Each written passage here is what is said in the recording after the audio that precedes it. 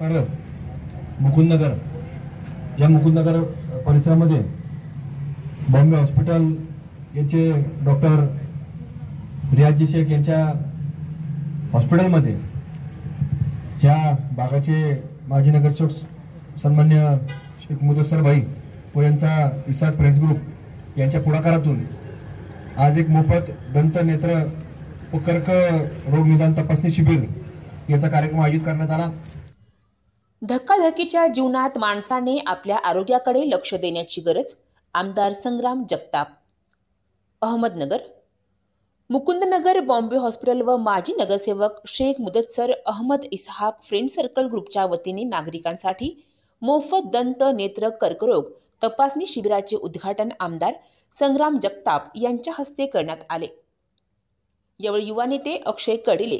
उद्योजक पैलवान असलम शेख माजी प्राचार्य Kadir sir doctor Prakash Garud doctor Padmaja Garud doctor Birajdar doctor Ajita Shinde Garud doctor Ahad Shaikh doctor Aliya Shaikh doctor Riyaz Shaikh माजी नगरसेवक शेख मुदत्सर अहमद इसहाक काविश वस्ताद Sachin Chhajlani Afroz Shaikh Bashir sir Azhar Shaikh Wasim Shaikh Sabir Shaikh हाजी लाला परवेज शेख आतिफ शेख अरबाज शेख जमीर इनामदार आदीसह नागरिक मोठ्या संख्येने उपस्थित होते.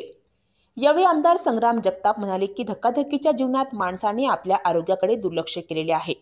विशेष म्हणजे महिलांमध्ये मोठ्या प्रमाणात आरोग्याकडे दुर्लक्ष होत असून महिलांना आपल्या प्रपंचाची जबाबदारी असून महिलांची बदलती जीवनशैली व्यायामाचा अभाव तणाव व चुकीची आहार पद्धतीमुळे अनेक आजारामध्ये वाढ होत आहे. कॅन्सर हा शस्त्रक्रियेने तर काही औषधाने बरा होतो. ब्रेस्टमध्ये असलेल्या गाठीचे विविध प्रकार असून पुरुषांमध्येही ब्रेस्ट कॅन्सर आढळून येते आहे. तसेच माणसाला अनेक आजार असून देखील आता प्राण्यांमध्ये आजार निर्माण होऊ लागले असून आता लंपीसारखा रोग आला आहे व शेतकऱ्यांच्या सर्वात मोठा धन म्हणजे पशुधन असलेल्या या पशुधनावर देखील काळाचा घाला आल्याने शेतकरी देखील वैतागला आहे.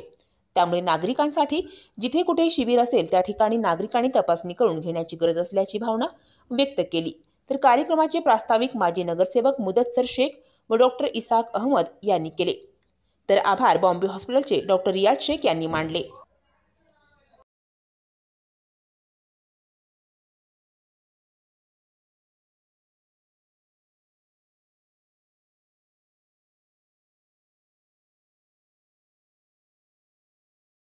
त्या कार्यक्रमाच्या निमित्तानं उपस्थित असणारे आजच्या कार्यक्रमाचे प्रमुख पाहुणे सन्मान्य अक्षयदादाजी घरडिले त्याचप्रमाणे कादिर सर भाई उपस्थित असणारे डॉक्टर गरुड साहेब गरुड मॅडम उपस्थित असणारे सर्वच व्यासपीठावरील मान्यवर. खरं तर आज मुनुसरबाईंनी पुढाकार घेतला आणि या बॉम्बे हॉस्पिटलमध्ये आज एक तपासणी शिबिर आयोजित केलेलं आहे. आपण पाहतो की या राज्यामध्ये दोन हजार चौदापासून या राज्याचे तत्कालीन उपमुख्यमंत्री व राज्याचे विरोधी पक्षनेते अजितदादा पवार यांनी दोन हजार चौदामध्ये या राज्यामध्ये गुटखाबंदीचा एक मोठा धाडसी निर्णय घेण्यात आला. आणि दोन हजार चौदापासून आज देखील राज्यामध्ये आपल्याला गुटखाबंदी पाहायला मिळते. आज सकाळीच खरं तर एक बातमी वृत्तपत्रामध्ये वाचली. आणि मुदत सर्वात तुमची आठवण झाली. सकाळच्या वेळेलाच. कारण की काल पारनेर तालुक्याची एक मोठी बातमी की एक घरामध्ये की किचनमध्ये मोठा गुटख्याचा साठा त्या ठिकाणी पकडला गेला. ही बातमी ज्या वेळेला सकाळी वाचली तर मी म्हटलं आजच आता दुपारी शिबिर आहे.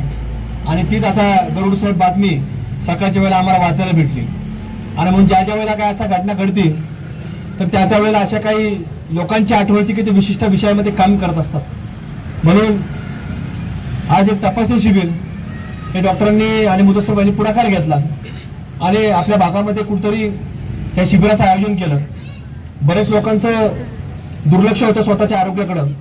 स्वतःच्या दैनंदिन कामामध्ये असन नोकरीमध्ये असन व्यवसायामध्ये असन काम करत असताना आरोग्याकडे दुर्लक्ष बऱ्याच वेळेला मोठ्या प्रमाणामध्ये होतं.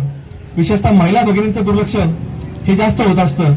कारण की प्रपंचाची जबाबदारी आणि घरातल्या कुटुंबाच्या सदस्याचं आवडता आवडता सगळं कामकाज आवडता आवडता आपल्याकडे देखील दुर्लक्ष विशेषतः महिला भगिनींचं होत असतं. म्हणून कुठेतरी महिलांच्या बाबतीमध्ये देखील काळजी ही जास्त अधिकची घ्यावं लागते. म्हणून आज आपल्याकडे मुदस्सर बहिणी पुढे तपासणीला जायची आवश्यकता नाही. की आपल्याच या नगरचं एक मोठं उपनगर असणारा मुकुंदनगरचा परिसर आहे. म्हणून आपल्याच या भागामध्ये आपण कुठेतरी पुढाकार घेतला पाहिजे. आणि कुठेतरी लोकांना जर जागेवर आपण तपासणी करू शकलो काय सुविधा देऊ शकलो तरी आपल्याला कुठेतरी चांगलं काहीतरी त्यातून साधता येईल. अशा प्रकारची एक धारणा यांनी आज खरं तर मनामध्ये बाळगली आणि म्हणून कुठेतरी आज आपल्याकडे शिबिर ठेवलं आहे. सातत्याने आरोग्याच्या विषयामध्ये तर अलीकडच्या काळामध्ये काम करण्याची आवश्यकता जास्त निर्माण झाली आहे. कारण की पूर्वी काही गरुडसाहेब आता आपल्याला बोटावर म्हणजे इतके आजार असायचे. स्पेशलिस्ट कुठे डॉक्टर नसायचा.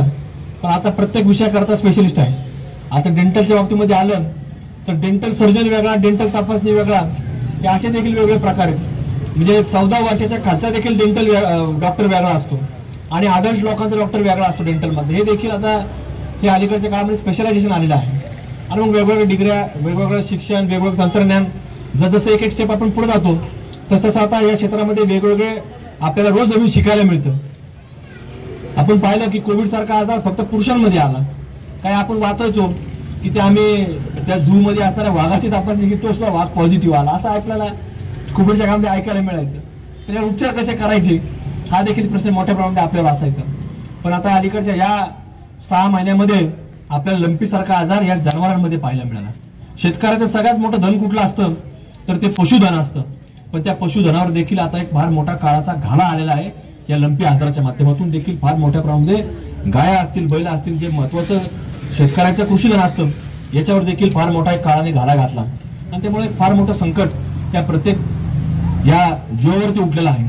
आणि म्हणून कुठेतरी आज या सगळ्या माध्यमातून जर मार्ग काढायचा असेल त्याच्यामध्ये आपण जवळ ज्या ज्या ज्या वेळेला की आपल्या जवळपास आपल्याला कुठे ऐकायला मिळेल की कुठल्या शिबिर होणार आहे आपल्या शहरामध्ये आपल्या तालुक्यामध्ये आपल्या जर जवळपास परिसरामध्ये कुठं जर शिबिर होणार आहे जर शिबिर म्हणजे काय असतं? फक्त तिथं जाऊन आपल्याला थोडा वेळ घालावा लागतो. तिथं तपासणी करून घ्यायची असते. आणि जर ती तपासणी जर लवकर झाली आपल्याला जर काय आजार आढळला जर तो पर इनिशियल स्टेजमध्ये म्हणजे पहिल्या टप्प्यामध्ये जर तो आजार आपल्याला लक्षात आला तर कुठलाही आजार असो त्याच्यावरती मात करता येते. त्याच्यावरती आपल्याला कुठेतरी विजय मिळवता येतो. बरोबर डॉक्टर साहेब. त्यामुळे आपण प्रत्येकाने तपासणी केली पाहिजे. जर तो आजार तिसऱ्या चौथ्या स्टेजमध्ये आपल्या लक्षात आला तर त्याला कुठल्याही प्रकारचं औषध लागू होत नाही. म्हणून आपल्याला कुठेतरी आज ज्यावेळेस तपासणी होती तर आपण त्याचा उपयोग करून घेतला पाहिजे. आता बऱ्याच महिला मोठ्या प्रमाणात इथं आलेल्या आहेत. बाल मुलं आलेल्या आहेत. खरं तर याच्यामध्ये महिलांनी आपल्या घरातील पुरुष मंडळींना हे आपण कुठेतरी सांगितलं गेलं पाहिजे. की या तपासण्या केल्या गेल्या पाहिजे. बऱ्याच वेळेला काही पुरुष मंडळी सातत्याने घरातून बाहेर पडल्यापासून रात्री घरी येऊपर्यंत तोंडात काही ना काही सातत्याने काही ना काही म्हणजे काही चुकीचे प्रकार जे मावारूपी आपल्याला ऐकायला मिळतात अलीकडच्या काळामध्ये ते देखील आपल्याला पाहायला मिळतात. ह्या सगळ्या बाबतीमध्ये आपल्याला खबरदारी घेणं गरजेचं आहे. खरं तर मावा हा प्रकार आपण जर पाहिलं ते बनवायचे प्रकार तर याच्यामध्ये जसं गुटखाबंदी झाल्यानंतर हे जे माव्याचे प्रकार वाढत गेले तर त्यातनं कॅन्सरची अधिक शक्यता ही निर्माण होऊ लागलेली. कारण की त्याच्यामध्ये कुठलंही टेस्टिंग नसतं कुठलंही त्याला लॅब नसती आणि अगदी रस्त्यावर बसून तो मावा बनवला जातो.